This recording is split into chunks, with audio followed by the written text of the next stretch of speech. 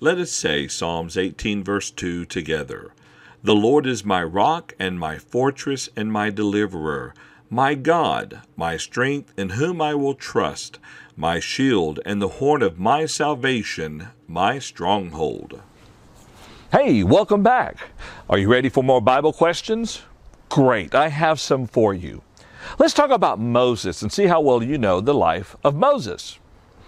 Moses' family, what tribe did it belong to? Did you say Levi? If so, you're right. Moses' family belonged to the tribe of Levi. Now, what about his father? What was the name of Moses' father? That's exactly right. Amram. Amram was the name of uh, Moses' father. Now, what about his mother? Have you learned the name of Moses' mother yet? Exactly, Jochebed.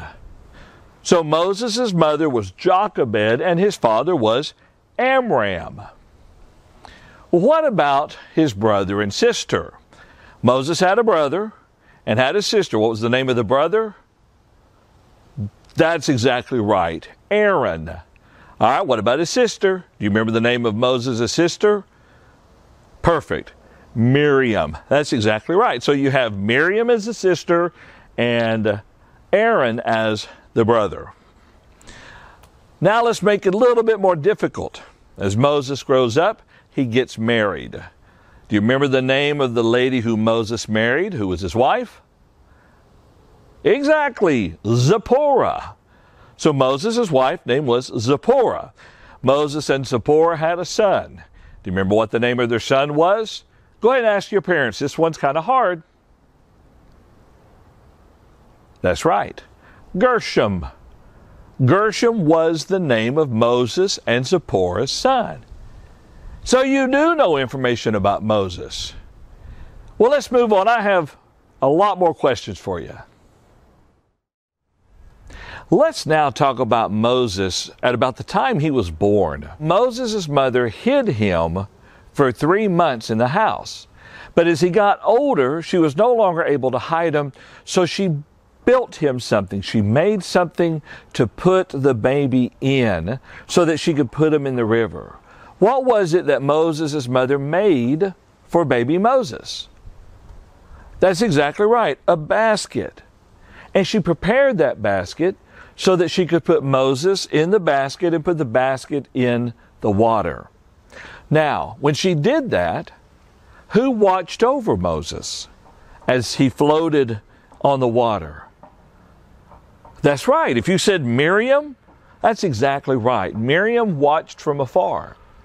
So Moses in the basket floats on the water, and then someone finds the basket and the baby and retrieves them from the water. Who takes the basket and the baby from the water? Do you remember? Perfect. Pharaoh's daughter. That's exactly right. The daughter of Pharaoh found Moses in the basket and brought him out of the water. Now, here's the next question for you, though. Who gave baby Moses the name Moses? Do you remember who did it? That's right, same answer as before Pharaoh's daughter. Now, here's a bonus question for you, and you may have to ask your parents. Let's see if they really know it. Why did Pharaoh's daughter name the baby Moses? Do You remember? That's exactly right. Because I drew him out of water, is what she said. Boy, you're doing a good job. You know a lot about Moses. But let's jump forward a little bit in time. Moses lives in Pharaoh's household until a certain age. And at this age, he flees the land of Egypt and goes to the land of Midian. Do you remember how old he was when he left Egypt to go to Midian? That's right, 40 years old. Now he stays in the land of Midian for how many years? Do you remember this? That's right, another 40 years. And by the way, do you remember how long Moses lived after the Lord sent him back to the land of Egypt? Another 40 years. That's right. Moses was 40 years old when he left Egypt to go to Midian. He was 80 years old when God called him from the land of Midian to go back to Egypt, and he was 120 years old when he died. Now, when Moses was in Midian, God talked to Moses. Do you remember how God talked to Moses? It was through um, a burning, a burning what? Bush. That's exactly right. God talked to Moses through a burning bush. Boy, you're doing an outstanding job. You know a lot about Moses. There was one more question, something that I forgot to ask you, and I want to see how well you know it. Real quick. It's a hard one. When Moses was approached the burning bush, God told him to take off something. Do you remember what God told Moses to take off? That's right, his sandals.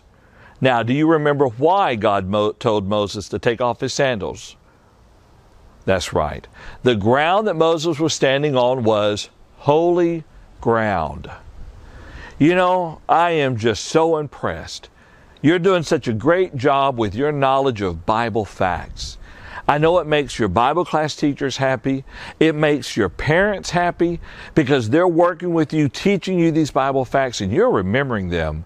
But it also makes God happy. Tell you what, that's all for now. But come back next time as we consider more facts of the Word of God. Have a good day.